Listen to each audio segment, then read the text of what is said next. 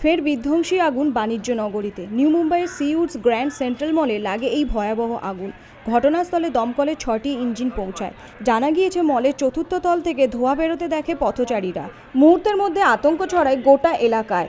মলের অন্দরে আটকে পড়ে পাঁচশোর বেশি মানুষ। ঘটনাস্থলে দমকলের পাশাপাশি পৌঁছায় উদ্ধারকারী দলও। আগুনের ভয়াবহতার জেরে প্রবল ক্ষয়ক্ষতির আশঙ্কা করা হচ্ছে।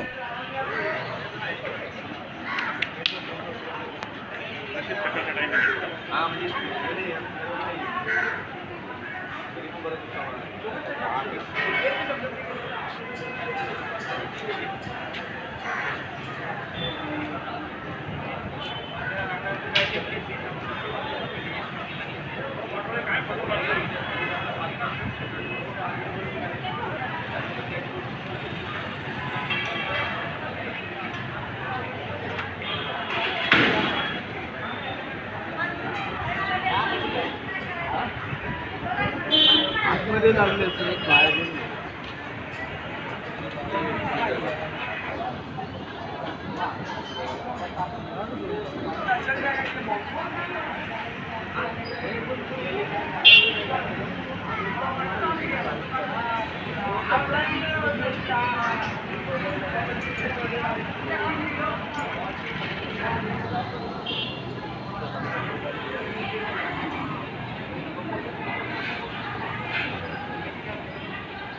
মুম্বাই থেকে মুরারি সিংয়ের রিপোর্ট এএনএন নিউজ।